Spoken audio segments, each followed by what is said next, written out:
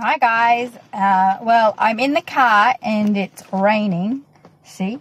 So before I venture outside and get wet, um, I thought I'd just jot down a few thoughts that's been running through my mind, and it's really about my beef with the boost button. So I've been talking to clients this week, and they have been telling me they've been um, their advertising has been clicking the boost button, and in my opinion, clicking the boost button without a strategy behind why you're boosting a post, that boost button might as well say donate here.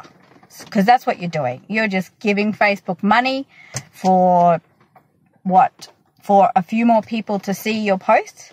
If that's the reason why you're boosting and there's no strategy behind that boost, then, um, yeah, like I said, you might as well be donating to Facebook. So, some reasons other than just showing your post to more people, why you would press the boost button would be perhaps you want to build social proof on a certain post before you advertise it to your ideal client or your ideal target market. So social proof is likes, engagement, comments, shares.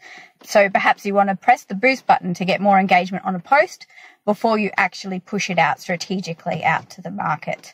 Another reason, perhaps you want to build your engagement audiences on your page. So what an engagement audience is, is a custom audience behind Facebook um, ads manager that you can create and it's a it's an audience of people who engage with your page so that might be another reason why you want to press the boost button um, but if you're just pressing the boost button because the only reason is you want to just show a few more people your ads and there's no follow through uh, strategy with pressing the boost button, then you are donating to Facebook, in my opinion.